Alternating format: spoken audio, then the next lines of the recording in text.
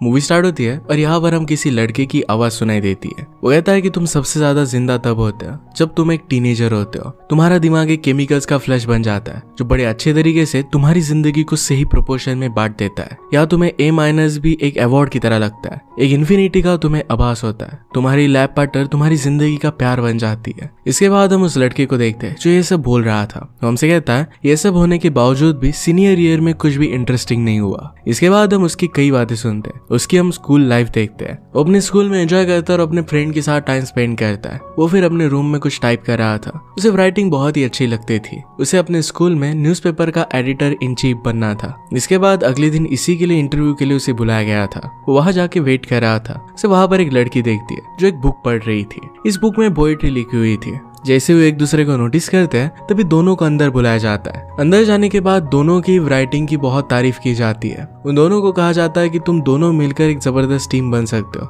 एक अच्छे editor in chief की जोड़ी बन सकते हो। इस बात पर वो लड़की इसके लिए मना कर देती है। वो कहती कि मैं एडिटर नहीं बनना चाहती, और फिर वो वहाँ से चली गई। उसके पीछे पीछे वो लड़का भी आता है। उससे पूछता है कि तुमने ना क्यों कहा? वो लड़की कहती कि तुम्हें क्या? मुझे जो अच्छा लगता है मैं वही करूँगी। उस लड़की के साथ बात करने में जरा बिज़ी हो गया, और इसी वजह से उसकी बस छूट गई। इसके बाद वो दोनों घर वॉक करते हैं। थोड़ी देर बाद वो लड़की उससे कहती है कि मेरा घर पास में ही है। अगर तुम चाहो तो मैं तुम्हें घर पर ड्रॉप कर सकती हूँ। वो उसके लिए हाँ कहता है। इस लड़की का नाम ग्रेस है। ग्रेस जो रीड कर रही थी, इसमें बहुत सारी ब्यूटीफुल चीज़ें लिखी हुई थी। ये बुक फिर ग्रेस उस लड़के को दे देती है। कहती है कि बहुत ही ब्यूटीफुल है। तुम्हें रीड करनी चाहिए। इसके बाद वो ग्रेस के घर पर पहुँच जाते हैं। ग्रेस कहती है कि मुझे ड्राइविंग करना पसंद नहीं है। अगर तुम्हारे पास ड्राइविंग लाइसेंस है तो तुम ड्राइव कर कर जा सकते हो। वो इसके लिए हाँ कहता है। ग्रेस फिर उसे चाबी थ्रो कर देती है। ग्रेस फिर उसके साथ ड्राइव करते हुए उसके घर पर जाती है। ग्रेस उसे कहती है, तुम्हारा तो घर बहुत बड़ा है। इसके बावजूद भी तुम्हारे पास कार क्यों नहीं है? लड़के ने कहा कि, मेरे मार्क्स उतने अच्छे नहीं आते। इसी वजह से मेरे पेरेंट्स ने मुझे पाई कर कर नहीं दी इसके बाद ग्रेस फिर वहीं पर कार छोड़कर चली जाती है। हेनरी के पेरेंट्स भी ये सब सुन लेते हैं। सिस्टर भी कह रही थी कि हेनरी आज एक लड़की के साथ घर पर आया था। पेरेंट्स ने पूछा तो हेनरी कहता है कि वो सिर्फ़ एक फ्रेंड है और हम दोनों आज ही मिले थे। उन्होंने पूछा कि आज तुम्हारे इंटरव्यू में क्या हुआ? तो हेनरी कहता है कि मैं एडिटर बन गया हूँ। वो इसके लिए बहुत ही खुश थे।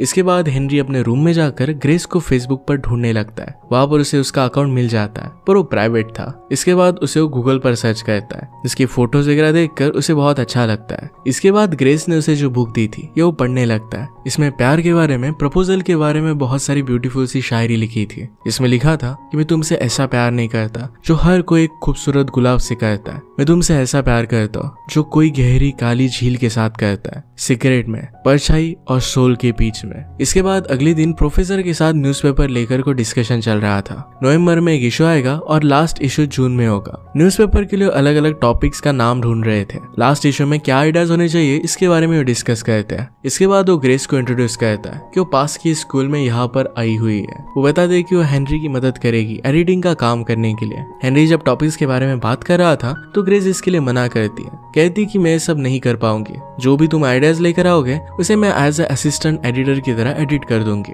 स्कूल के बाद हेनरी की दोस्त उसे बात कर रही थी। उसके ग्रुप में एक लड़की को प्यार हो गया था। वो कहती कि जब भी मैं उसे देखती हूँ तो मेरे आसपास म्यूज़िक चलने लगता है। तभी इस सब के बीच में हेनरी ग्रेस को देखता है। हेनरी अपने दोस्त और अपनी बस को छोड़कर उसके पास आ जाता है। उसने ग्रेस से कहा कि मैंने तुम्हारी बुक पूरी रीड कर ली है। इसमें बहुत सारी ब्यूटीफुल सी चीज़ है। उससे बात कर रहा था, तभी उसके फ्रेंड्स उसे बस में बुलाते हैं। पर इस बात को इग्नोर कर देता है। ग्रेस से फिर से उसी की गाड़ी में जाने के लिए वो बात करता है। और आज फिर से कल जैसा ही हुआ। घर पहुँचने के बाद वो कुछ राइट कर रहा था। वो खिड़की से बाहर देखता है तो ग्रेस की गाड़ी लेने के लिए शायद उसके मॉम डैड आए हुए थे। इसके बाद रात में भी वो सो नहीं पाता। ग्रेस से साथ बात करने के लिए उसे मैसेज करने की कोशिश करता है। ग्रेस से बात करने के लिए उसे वो मैसेज करना चाहता था, पर नहीं करता और सो जाता है। इसके बाद दूसरे दिन भी वो ग्रेस से राइड के लिए पूछता है। गाड़ी के बाहर आकर वो ग्रेस को चाबी देता है और उसके घर में अंदर आने के लिए पूछता है। ग्रेस उसे इसके लिए मना कर देती है और कहती है कि कल मिलेंगे। ग्रेस ने अपना माइंड चेंज कर लिया और छह बजे शाम को यहीं पर मिलने के लिए बुलाती है। उसने कहा कि साथ में ब्रेड भी लेकर आना। इसके बाद फिर से वही हुआ कि ग्रेस की कार लेने के लिए कोई आया हुआ था।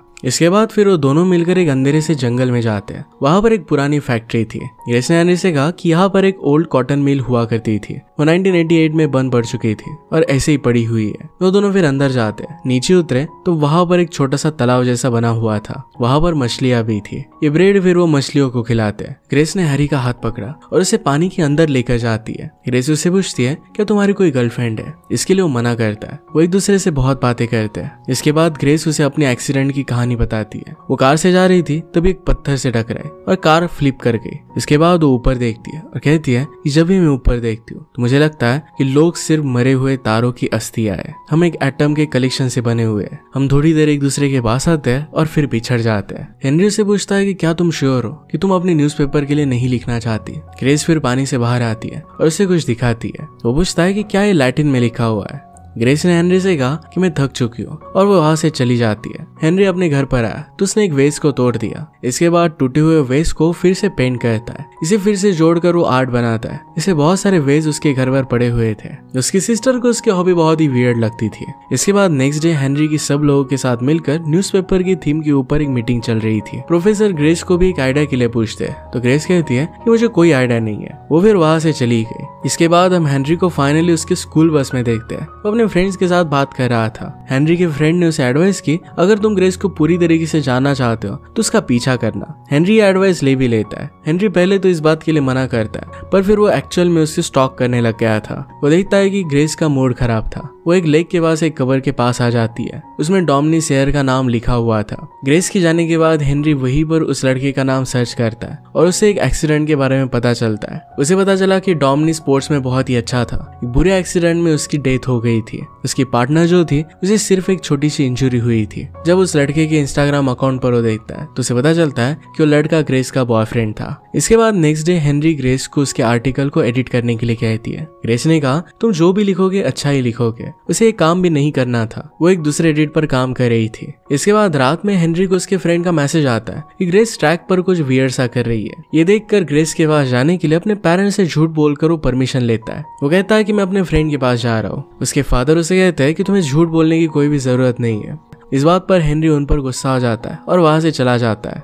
इसके बाद वो वहाँ से भागकर ट्रैक पर आता है। ग्रेस का पैर टूटा हुआ था। इसके बावजूद वो ट्रैक पर भागने की कोशिश कर रही थी। वो जब गिरी तो रोने लग गई। इसके बाद हेनरी घर पर आता है और सोने की कोशिश करता है। उसने ग्रेस को मैसेज किया। पूछता है कि क्या तुम ठीक हो? आज तुम्हारा मूड जरा खराब था। ग्रेस कहती है कि मैं ठीक हूँ और कल मैं तुम्हारे साथ लाइब्रेरी में मिलना चाहती हूँ। न्यूज़पेपर के लिए मेरे पास कुछ आइडियाज़ है। दूसरे दिन ग्रेस हेनरी को लो पर लिखी हुई सारी नॉवेल्स दे देती है। इन सब चीज़ों में कुछ बातें सेम है। ये बुक यंग लोग जो सुसाइड कर लेते उस पर बेस्ड है। हेनरी उससे पूछता है, क्या पूरी रात तुम इन्हीं सब चीज़ों पर सोच रही थी? ग्रेस उससे कहती है कि जब ये बड़े बड़े राइटर्स टीनेजर के बारे में लिखते हैं, तब उन्हें एक रियलिटी दिखानी पड़ती है कि जब भी टीनेजर किसी चीज़ की मांग करते हैं तो पूरी कायनात उन्हें उन चीज़ तक पहुँचाने की, उन्हें इसमें एक रियलिटी दिखानी पड़ती है कि जब टीनेजर्स कुछ चाहते हैं तो उन्हें वो चीज़ कभी भी नहीं मिलती, और इसके लिए सब लोग उन्हें अपोज करते हैं। हेनरी फिर से उससे पूछता है कि क्या तुम सुसाइडल हो? ग्रेस उससे कहती है कि कभी कभी हमें लगता है कि दुनिया से गायब हो जाए। एज अ टीनेजर होना उसे एक जेल की तरह लगता है। दुनिया हमेशा तुम्हें अपनी फीलिंग्स एक्सप्रेस करने के लिए कहती है, और जब तुम इसे एक्सप्रेस करते हो तो तुम्हें दबा देती है। सारे एडल्ट पहले टीनेजर्स ही थे, और बाद में इस जेल को तोड़कर वो एडल्ट बन गए। वो चाहती थी कि इसी थीम पर उनका न्यूज़पेपर का आर्टिकल हो। हेनरी फिर सबको इस टॉपिक के बारे में बताता है और इस पर वो डिस्कशन स्टार्ट करते हैं। हेनरी कहता है कि अगर ऐसी चीज़ किसी ने भी एक्सपीरियंस की हो तो इसके बारे में बात करनी चाहिए। ग्रेस फिर हेनरी को ही पूछ लेती है। हेनरी कहता है कि माइक जॉनसन नाम का मेरा एक फ्रेंड था। उसने सुसाइड कर ली थी। उससे मैंने एक एडल्ट मैगजीन बोरो की थी। जब उसकी डेथ हो गई तो मुझे लगने लगा कि मेरे ड्रॉर में रखी हुई वो मैगजीन हंटेड है। उस मैगजीन को फिर माइक जॉनसन को जहाँ पर गाड़ा गया था, उसी के पास के ट्री के पास उसने गाड़ दिया था। ये शेयर करने के बाद स्कूल खत्म हो जाता है। हेनरी ग्रेस के साथ फिर से बात करता है। उसे पूछता है, तुमने राइटिंग क्यों छोड़ दी?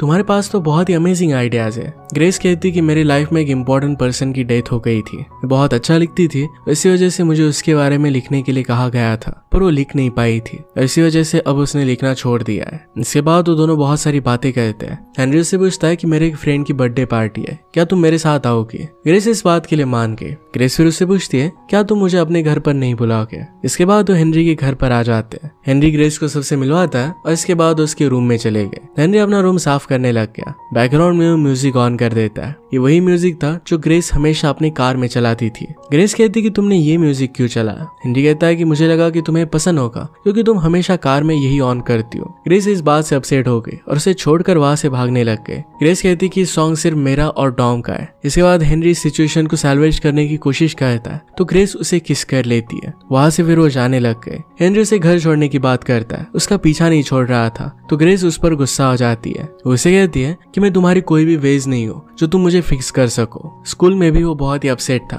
आज वो अपने फ्रेंड की पार्टी में भी नहीं जाना चाहता था। उसके फ्रेंड उसे कहते कि पार्टी में बहुत मज़ा आएगा। वहाँ पर तुम नशे भी कर सकते हो। हेनरी फिर इस बात के लिए मान जाता है। पार्टी में हेनरी ने ग्रेस को देखा और उसके पास वो आ गया। वो दोनों एक दूसरे के साथ डांस करते हैं। उसके बाद वो इंटीमेट होने लग गए। अगली सुबह ग्रेस हेनरी के पास उठी। अचानक से वो रोने लग गई।